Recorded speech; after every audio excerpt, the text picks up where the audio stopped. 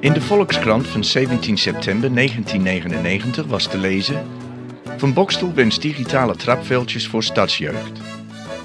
Dat was duidelijk een minister met visie, want het is nu bijna 2012 en in de tussentijd is de computer en internet steeds belangrijker geworden en niet meer weg te denken uit onze dagelijkse leven. Voor jong, oud, laag en hoogopgeleid is het zonder computervaardigheden zelfs moeilijk overleven. Ellen van Ede, vanaf het eerste uur de motor achter cyberzoek, vertelt over de doelstellingen.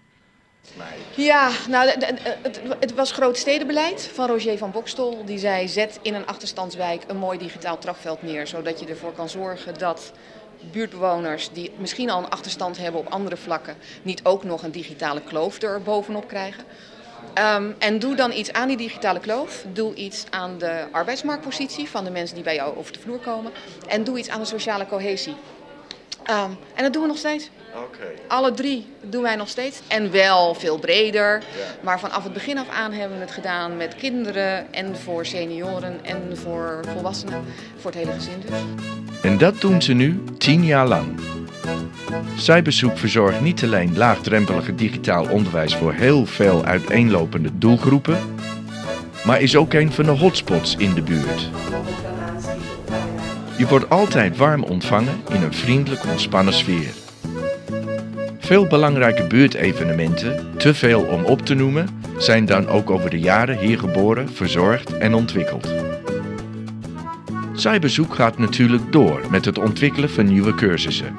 We hebben nu bijvoorbeeld een open inloop voor ondernemers op dinsdagavond hier in Cyberzoek. En dan helpen we de ondernemers uit Stadsdeel Oost met bijvoorbeeld het maken van een eigen website. Uh, dus daar, linken we, daar haken we op aan. We hebben uh, een, een, prachtige live hacking cursus. Uh, waar je leert hoe je je live moet hacken. en en daar, daar, is, daar is mooi belangstelling voor. Dat vinden we ook heel leuk om te doen. Waarbij we dus mensen met een, een, een, baan en een druk leven de kans geven om de computer en het internet nog wat beter te leren kennen. Zodat je dat ding ook kan gebruiken om het wat rustiger te krijgen in plaats van alleen maar drukker. Wethouder Euzetok was ook aanwezig om de lofuitingen kracht bij te zetten.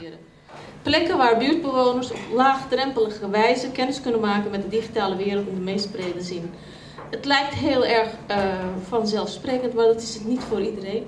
En ik wil ook iemand even naar voren roepen die vanaf het eerste uur ook daarin is betrokken geweest. Astrid Kuiper.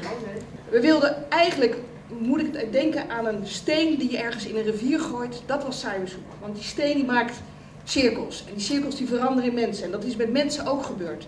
Doordat je die steen in die vijver hebt gegooid, Ellen, en met jou al die andere mensen die hier bij cyberzoek hebben meegewerkt, is er iets gebeurd in die buurt. En niet alleen in die buurt, maar vooral met die mensen.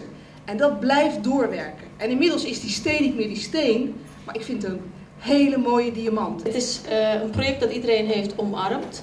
Uh, ook het stadsdeel. Uh, in het kader van de wijkaanpak zijn wij ontzettend trots op jullie. Applaus voor hen.